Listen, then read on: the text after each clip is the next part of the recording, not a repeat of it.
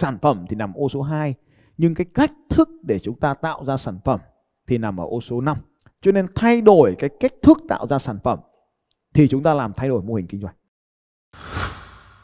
Tôi tên là Hưng.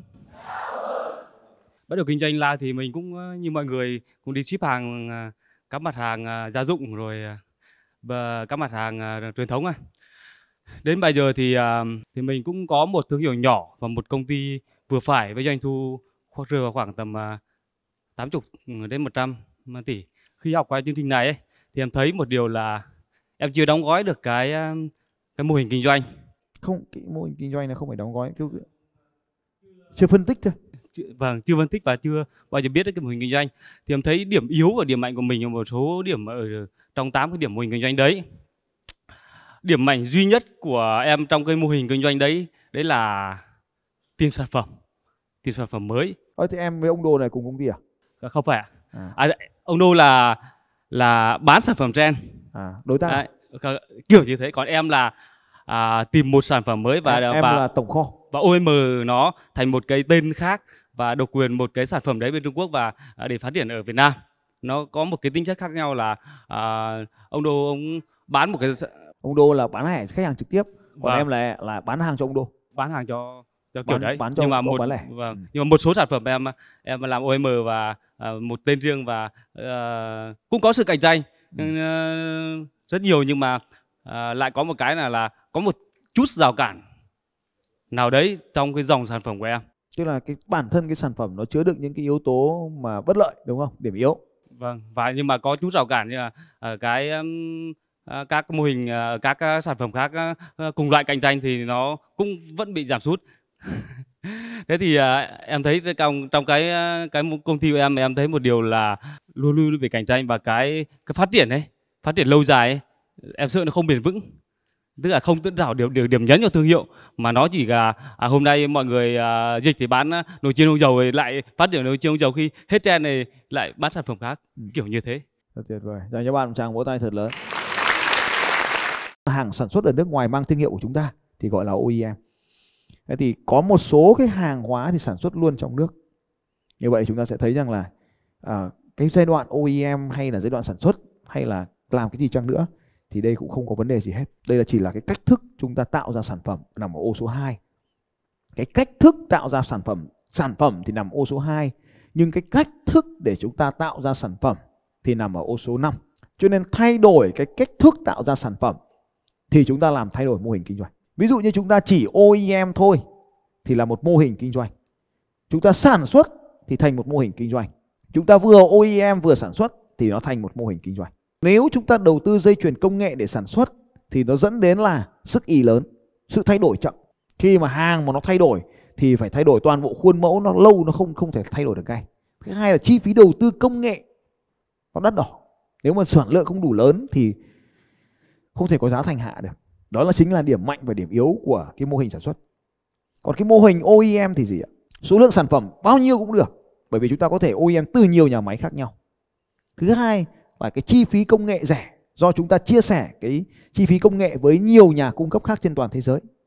Cái thứ ba là chúng ta thuê luôn cái đại công xưởng của thế giới sản xuất thì họ bán hàng cho nhiều nơi trên thế giới, cho nên là bản thân họ cũng tiếp thu những công nghệ mới, cho nên là hàng hóa bao giờ cũng tốt hơn là chúng ta tự sản xuất trong nước thì đó là một cái ví dụ để về phân tích cái mô hình kinh doanh. Nên là chưa chắc sản xuất đã đã tốt mà nên OEM thế thì tùy thuộc công nghệ. Ở trong cái mô hình kinh doanh này nó còn có một cái yếu tố nữa là cái mô hình lợi nhuận, tức là ô số 9 tức là các cái dòng doanh thu khác nhau.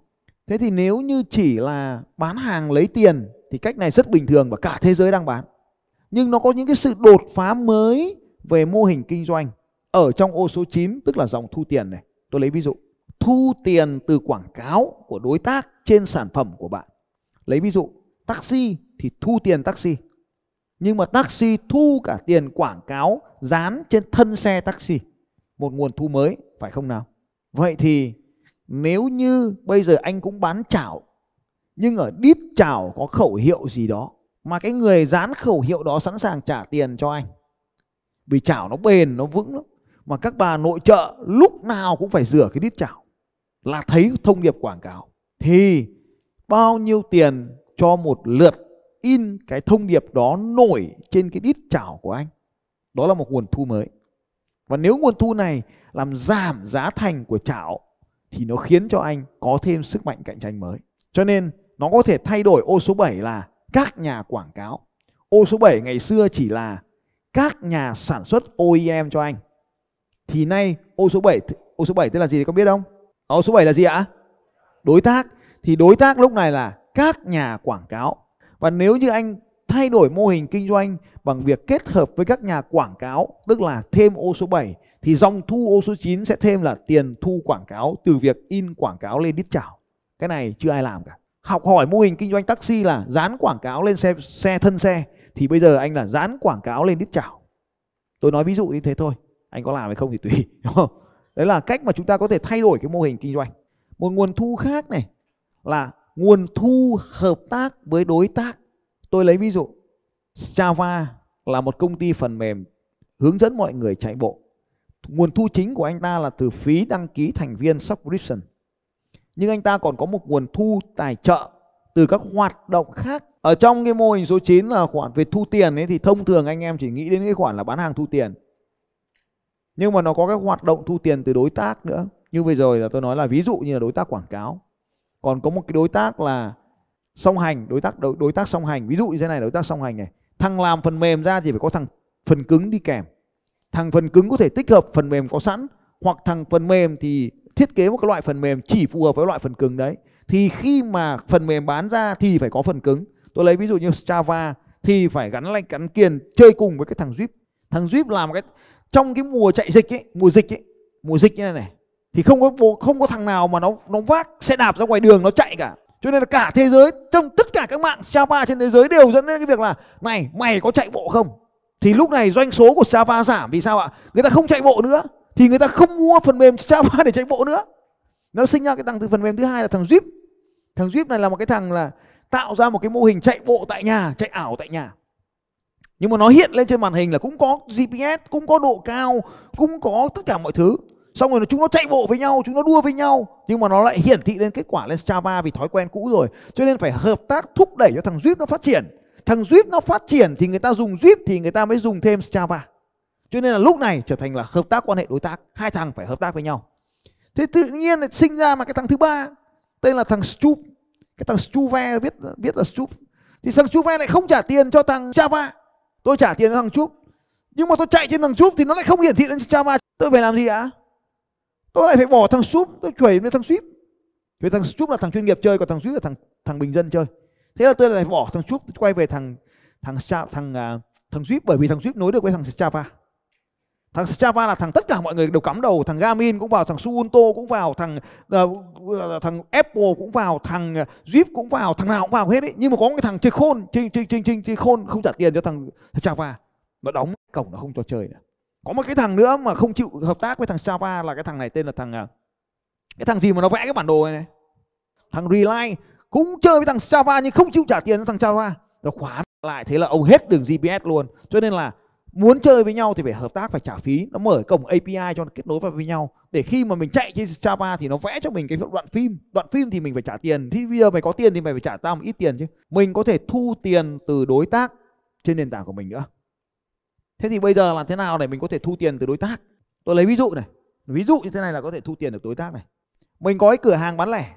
Ông uh, Coca-Cola muốn đặt biển quảng cáo. Ông trả tôi ít tiền. Bán được thì bán thì tôi thu tiền. Nhưng mà tôi không bán được, ông phải trả tôi ít tiền. Vì tôi chạy bản quyền quảng cáo của ông trên nóc nhà tôi. Ông không chạy, tôi mời ông Pepsi chạy quyền quảng cáo cho tôi. Đấy, tôi lấy ví dụ như vậy. Hãng bia muốn được đưa vào trong quán bia của tôi, ông trả tôi thêm một khoản tiền nữa tôi sẽ đuổi từ miếng bia màu xanh sang hãng bia màu đỏ của ông đúng không cho nên là chúng ta có thể thêm một khoản tiền thu nhập bên ngoài cái tiền bán hàng, doanh số bán hàng, thì mình có thể thêm những cái tiền khác thúc đẩy thì như vậy, cái ô số 9 chính là cách thức để thiết kế các cái giải pháp thu tiền của chúng ta. Tôi lấy ví dụ, hôm nay tôi không đi cái đôi giày kia. Trên giày của tôi này, bình thường nó gắn một con bọ nhỏ nhỏ chỗ này nữa. Con bọ nhỏ nhỏ chỗ này, trên giày. Ở chỗ này này, bình thường các bạn có thể quan sát thì khi tôi chạy bộ tôi có một con bọ nhỏ nhỏ trên này. Con bọ nhỏ nhỏ đấy nó phải có được thiết kế dựa trên cái dây giày này. Cái dây mà không thiết kế đúng thì nó cũng sẽ không dính con bọ mà được. Con bọ đấy phải được gắn với cái đồng hồ này mày mà láo, tao không cho mày chơi với đồng hồ của tao nữa, thì mày cũng không bán được đồng hồ, không bán được bọ luôn. Cho nên mày muốn sử dụng dữ kiện, con bọ đấy muốn chạy được, đo được các cái tham số thì phải dùng dữ kiện của cái đồng hồ. Cho nên là con bọ đấy, cái hãng sản xuất cái đầu con bọ đấy phải làm việc với cái thằng đồng hồ. Để mở cái cổng ra cho mày xuất dữ liệu ra đấy, con bọ chân dài của tôi đấy. Đấy, nó nằm như vậy. Thì cái con bọ này muốn được có dữ kiện ở trên cái đồng hồ thì phải làm việc với thằng đồng hồ và phải trả tiền cho thằng đồng hồ, thằng đồng hồ nó mới xuất dữ kiện cho còn không nó mà khóa cổng này lại thì con bọ kia coi như ngỏm củ tỏi luôn chả có dít rượu gì nữa cả. Đấy thì, thì phải hợp tác với nhau để mà đưa vào đây. Chứ thằng đồng hồ này nó phải trả tiền bản quyền cho thằng GPS trên trời. Nó không tự thả vệ tinh trên trời được chứ nó phải trả tiền thằng GPS con bọ kia thì không có GPS ở bên trong thì phải gắn vào con đồng hồ cho nên phải trả tiền cho thằng đồng hồ để nó cấp tín hiệu cho. Cho nên đây là ngoài cái việc bán đồng hồ thì thằng kia nó còn bán được cái là cái phần mềm để mà đọc cái dữ kiện này cho con bọ thế con bọ thằng cái, cái các công ty con bọ trở thành ô số 7 và số 7 từ ô số 7 đấy lại chuyển thành ô số 1 trở thành khách hàng. Nếu ô số 7 là mình trả tiền cho nó còn chuyển nó sang ô số 1 thì nó trả tiền cho mình. Bây giờ bây giờ nhá tôi hỏi ví dụ đơn giản này nhá. Các anh chị em mình ở đây kinh doanh spa. Mô hình cũ là mình mua hàng thì thằng à, các cái công ty mỹ phẩm nó phải trả tiền cho mình để mình trả à, mình phải trả tiền cho các công ty mỹ phẩm để mình đưa hàng cho khách hàng của mình đúng không? Và bây giờ mình thiết kế một cái mô hình kinh doanh mới là các spa mà các công ty mỹ phẩm phải trả tiền cho mình không? Có thiết kế được như thế không? Mình mở cái spa mà các công ty mỹ phẩm muốn bán hàng vào spa của mình thì phải trả tiền cho mình. Có được không? Được đúng rồi. Mình cho họ thuê một cái tủ quầy để họ bày hàng của họ ở đấy. Đấy, như vậy chúng ta có thể hoàn toàn có thể có những nguồn thu khác từ các hoạt động. Nhiều. Như vậy thì chúng ta sẽ thấy ô số 9 cũng chính là một trong những cái bí mật kinh doanh. Tôi lấy một cái ví dụ. Taxi truyền thống của chúng ta thì tài xế là nhân viên, có phải không ạ? Còn trong taxi, Uber, taxi hiện đại kiểu Grab, tài xế có phải là nhân viên không ạ? Không, tài xế là ai ạ? Tài xế là đối tác, đúng rồi các anh chị. Ngày xưa họ là người trong nội bộ, bây giờ họ trở thành đối tác. Nhưng mà Uber thì coi tài xế là khách hàng. Những người có xe, thích lái xe và mong muốn kiếm thêm thu nhập thì đó chính là tài xế Uber. Nên là ngày xưa thì chúng ta thấy rằng là khách hàng bây giờ trở thành đối tác dịch chuyển đối tác thành khách hàng, dịch chuyển khách hàng thành đối tác, hoàn toàn có thể khác. Như vậy chúng ta có thể thấy là số 1 driver, tức là tài xế, có thể nằm ô số 1 driver có thể nằm ô số 7 tức là đối tác chính. Cơ chế trả lương. Ngày xưa nếu là nhân viên không lái thì cũng phải trả tiền, phải không ạ? Đúng không? Cơ chế mới là ông lái thì ông có tiền, ông về ngủ thì không có tiền. Cho nên là họ phải làm sao ạ? Lái ngày lái đêm. Ừ trên các app nó phải quản lý cái thời gian là không cho lái nhiều. Tiếp theo này, một thứ nữa này. Ngày xưa, mình phải mua ô tô của mình mình đưa cho các tài xế vận hành. Ngày nay thì sao ạ?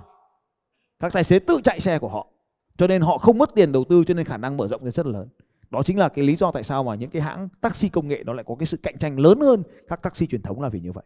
Nó khắc phục được những cái điểm yếu của mô hình kinh doanh cũ. Ngày xưa, chờ mãi taxi mới đến. Ngày nay mà phải chờ thì tiền tăng lên. Đúng không ạ? Vì đó là yếu tố công nghệ mà. Chỗ nào mà mật độ nhu cầu cao thì tự động đẩy giá lên thôi, còn không thì bạn hủy đi. Nó nhân lên một, lên nhân hai. Có những lần tôi đi taxi Uber là nhân 10 ở đây có ai đã đi nhân 10 nhân 9 nhân 10 chưa? Chưa. Ở Mỹ có lần tôi đi nhân 20 cùng một cái chương trình lớn như này này. Ù hết ra. Ù hết ra mà nó cũng ở một cái vùng heo hút. Hội trường lớn nó cũng ở vùng heo hút, giống như ngày xưa cái chỗ này là heo hút lắm này. Thì nó không có taxi. Thế là taxi nó phải chạy từ trung tâm nó xuống, chạy 10 mai nó xuống thì nếu mà đồng ý, thì phải chờ 30 phút xe nó mới đến. 20 lần. Nên tôi khôn lắm. Có mấy bố khôn hơn thì là chưa, lớp học chưa kết thúc. Bố đã ngồi bấm Uber để bố booking trước xe trước rồi. Nhưng mà tôi khôn hơn. Tôi đi bộ về. Lợi thế cạnh tranh của tôi là gì ạ? Là khả năng đi bộ. Vừa đi học về, vừa được tĩnh tâm, vừa được ôn bài, vừa được tập thể dục. Cho nên là khi mà nói về mô hình kinh doanh để chúng ta có thiên biến vạn hóa. Cứ mỗi một tờ giấy chúng ta dịch chuyển nó. Ví dụ như là đưa từ số 5 mà đưa cái số 5 này sang số 2 là thành một món chơi khác. Đưa số 7 này về số 1 là số khác.